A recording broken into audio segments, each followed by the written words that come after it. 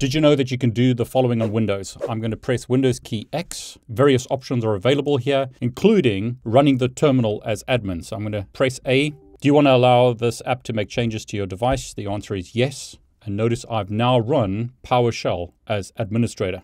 I can type exit to exit PowerShell, Windows key X, Many options available here. Let's use M for device manager. I can now manage devices on my computer. Alt F4 to close that. Windows key X. I could use O for power options. Set my power options here. Alt F4 to close that. Windows key X. I can use W for network connections. So W, I can see that I'm connected to Ethernet 2. My Wi-Fi is currently off. Alt F4 to close that. So Windows key X gives you a whole bunch of options, including, for example, settings where I could change the settings of my computer. So as an example, going to network and internet or personalize, or going to apps as an example to see installed apps.